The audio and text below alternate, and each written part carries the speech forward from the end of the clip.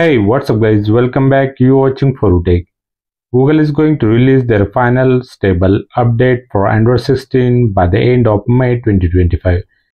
Before releasing their final build, Google released their another Android 16 Beta 4 update today for all eligible devices of Google Pixel series. We also got the new Android 16 Beta 4 GSI and we successfully booted it. Today in this video, we are thoroughly going to check what's new has been added by the Google in Beta 4 update, along with the fixes done by the Google team which were encountered in the previous beta updates. We also discussed uh, how any Android device can test the GSI and what bugs they may face if they are thinking to try this build. So both Pixel device users and the non-Pixel device users will get idea what's new thing you will get if you upgrade your device to new Android 16 Beta 4. So watch this video till the end now with the further delay, let's get started. On a new adventure.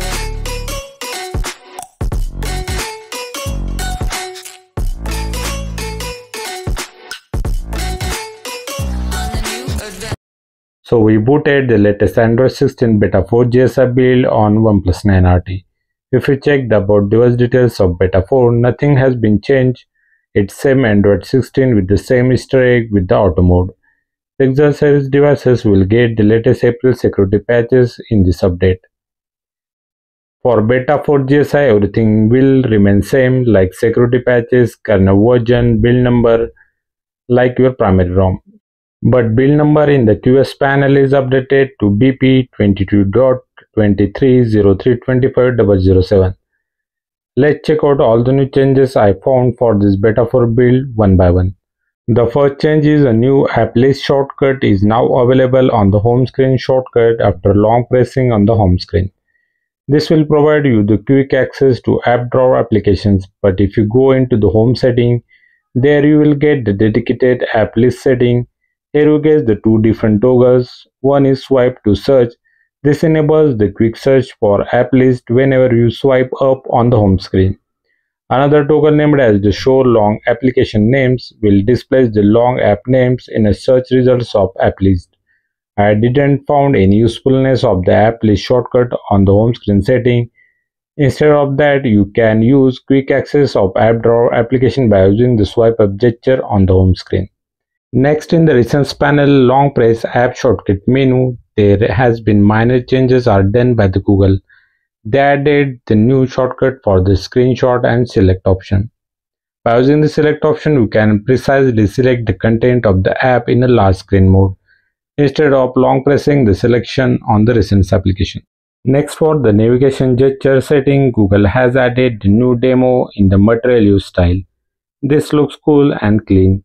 It is easy to understand for any new babies of Android users now.